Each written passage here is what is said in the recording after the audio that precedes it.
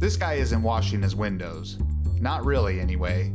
He's the lookout for the guy behind him trying to break into our pump to install a skimming device to steal credit card information.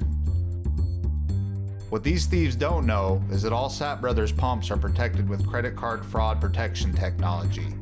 Watch as they just set off the alarm inside the store and cause the pump to shut down, immediately thwarting their efforts.